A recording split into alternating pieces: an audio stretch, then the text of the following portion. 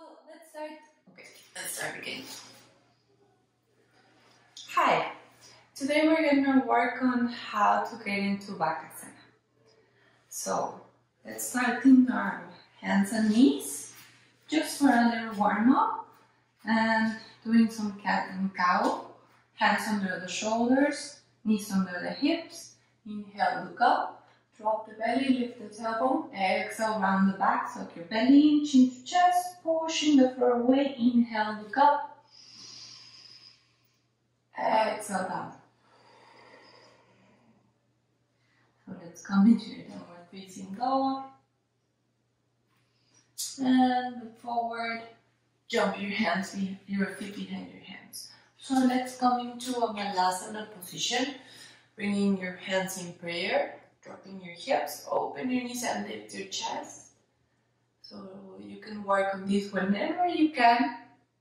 This is very useful to open the hips. It's very good for the lower back as well and also for the Achilles tendon. So with, with that position, keeping your knees bent in a squat, you can bring your hands uh, in front of your feet and you can come into your tippy toes. It is very important to keep your, your knees connecting with your, your armpit. So come up, hips up. Very important to plant your hand on the mat and really grab the, the mat with your hand. So push down through your fingertips, grabbing the floor, feel the weight on your fingertips, and you start coming forward. Coming forward, pushing.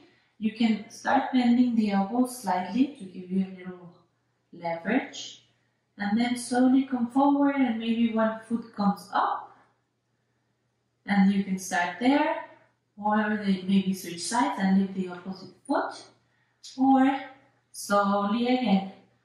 Come forward come forward come forward and lift both feet and just maybe see if you can hold it for a moment. Maybe just the tips of your toes touch the floor and you push you breathe here and that can be the first steps for your Bakasana. So once you feel comfortable with that, there's always the option to place a pillow on front so you don't fear of dropping into your face, which if, if it happens is not a big deal, but it's always that fear. So if that helps, please, more than welcome to do it. Try it, whatever works. So once that feels better, you start coming forward. Again, remember, the knees as high as possible. Squeeze and suck your belly in. Remember that cow position rounding the back. So come forward, bring your feet together and oops. you be careful not to slide. So come forward, push, squeeze, and try to push your hands. Straighten the arms as much as possible, squeezing the feet. And breathe here as long as you can. Maybe two breaths to start, then you start moving and building it up a little bit. Because Bakasana is a very useful position to work on your jumping back when you're floating. So you can put it into your postures and then from there jump slowly building up. So, so that is how you slowly progress into your Bakasana position.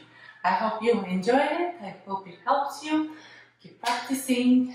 So don't give up. You'll get it. Namaste.